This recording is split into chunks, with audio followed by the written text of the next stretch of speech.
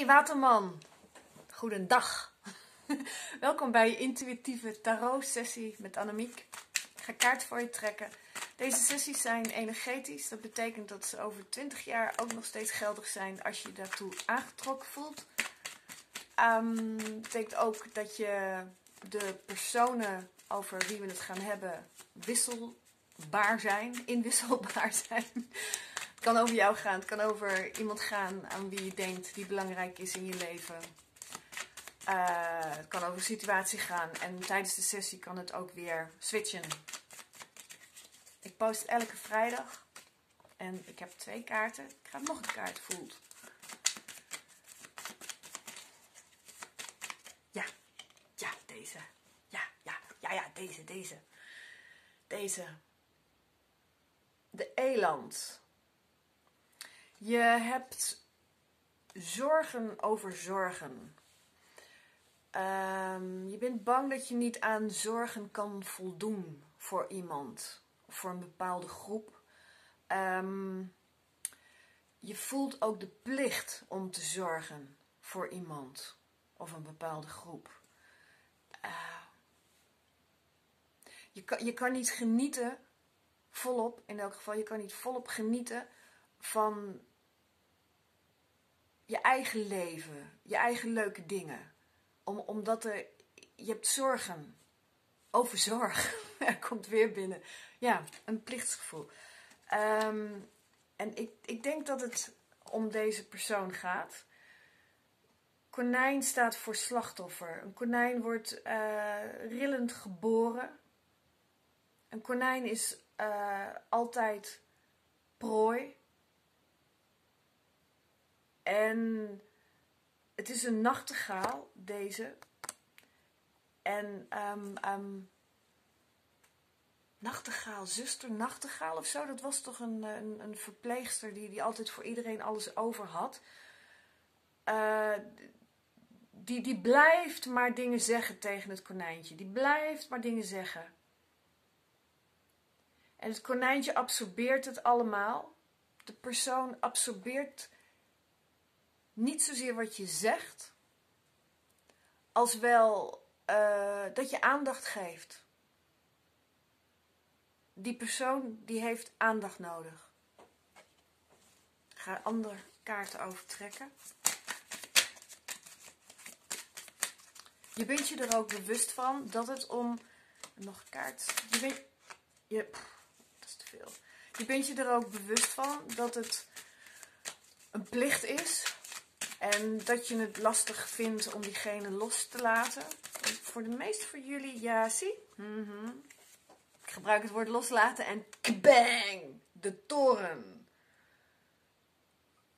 Er, er gaat een grote gebeurtenis plaatsvinden waardoor de zorg ineens wegvalt. Um, of jij, jij besluit gewoon helemaal van bang, klaar, klaar, klaar. Andere kaart die ik trok is um, staven aas. Die hier weergegeven wordt door, door een uh, vuurvlieg. Um, je hebt je... Het is een mooie kaart hoor, by the way. Maar hmm, ik begin even bij het minder mooie. je hebt een nieuw idee. Je hebt een, een, een nieuw idee en een, een drang om iets nieuws te doen. Iets compleet nieuws. Iets compleet nieuws. Ik ken toevallig een waterman die gaat emigreren. Nou, that's what I'm talking about. Verkeerde taal trouwens, maar oké. Ehm, je hebt je aandacht... De waterman heeft zijn aandacht verspreid over verschillende personen. Ik geef een beetje zorg aan dat konijntje, een beetje zorg aan dat konijntje, een beetje zorg aan dat konijntje en een beetje zorg aan dat konijntje dat zo ondersteboven is van alles.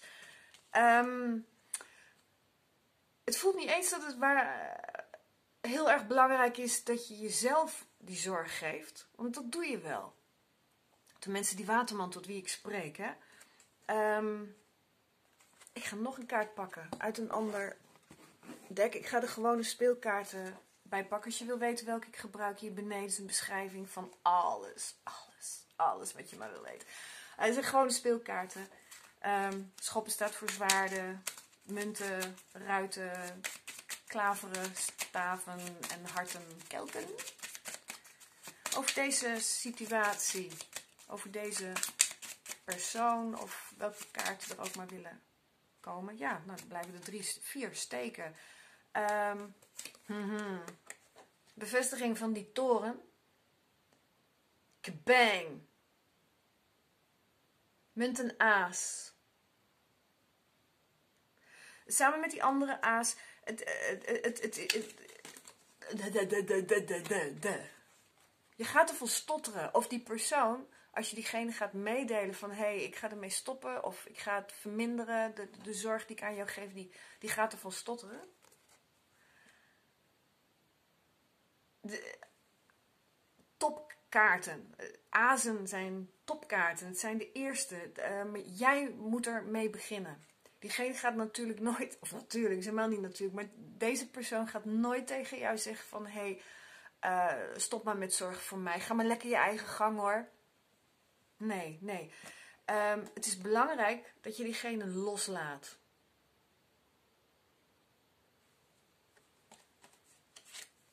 Kan zijn dat er conflicten ontstaan tussen jullie tweeën. Maar wat belangrijk is, is dat je de positieve herinneringen die je met die persoon hebt, dat je die vast blijft houden en dat je de rest loslaat. De hele situatie mag dus blijkbaar losgelaten worden. Je hoeft niet meer voor diegene te zorgen. En voor mij verrassend genoeg dus helemaal niet omdat je niet goed voor jezelf zorgt, want dat doe je behoorlijk goed. Of helemaal. Of dat is nu gewoon niet van toepassing in je leven. Maar omdat het gewoon klaar is. Weet je, als je heel veel voor iemand zorgt, dan help je diegene ook eigenlijk helemaal niet. Um, hoe zegt het ook? Dus zo'n Afrikaans gezegde van als je een, een, een, een man uh, een vis geeft, dan heeft hij en zijn gezin te eten. Geef je hem een hengel, dan kan hij uh, uh, de rest van het jaar, dan kan hij alle jaren voor zijn gezin zorgen geef je hem les in hoe je een hengel kan maken, dan kan hij het hele dorp helpen. Waarom zeg ik dit? Is vast van toepassing op een van jullie. Als je het konijntje een vis blijft geven, geruststelling, troost, uh, tips, adviezen, heeft hij niet zoveel aan. het konijntje heeft er veel meer aan om te zien hoe jij leeft. En dat doe je natuurlijk ook al, omdat je jezelf hebt laten zien bij het konijntje. Maar het konijntje, sorry dat ik steeds konijntje blijf zeggen, maar die persoon, die vrouw, die man, die jongen, die, dat meisje, die persoon, die, die kan jou niet volledig als voorbeeld, als goed voorbeeld voor hoe ze zelf in haar kracht zou kunnen komen te staan, oppakken om, omdat jij je verplicht voelt om haar te helpen. Ik had vroeger een, uh, een vriend, daar heb ik vier jaar mee samengewoond. Een uh, Belgische Limburger.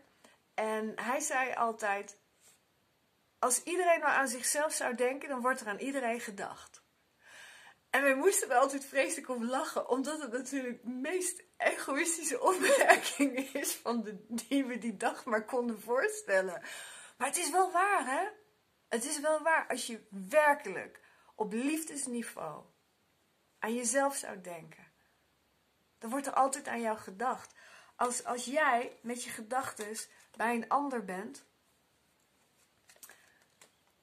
wie is er dan voor jou? Wie is er dan voor jou?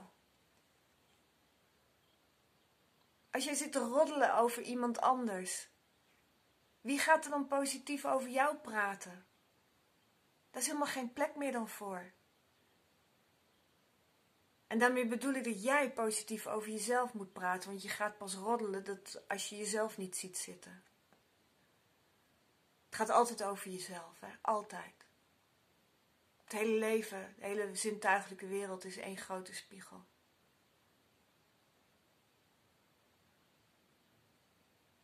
Je mag het konijntje loslaten in groot vertrouwen, in liefde. En de vrouw of de man over wie dit gaat, mocht jij degene zijn die, die, die weet dat, dat zij, hij zich altijd als slachtoffer heeft gedragen. Adem in je hart. Adem adem in je hart. Wees bij jezelf. Wees bij jezelf. Die persoon of die waterman die heeft genoeg voor je gedaan. Veel te veel. Ook al was het niet veel, het is veel te veel geweest. Ik sluit nu af voor diegenen die klaar zijn. en ik blijf nog eventjes stil zitten, in mijn hart ademen. En als je wil mag je meedoen. Dankjewel.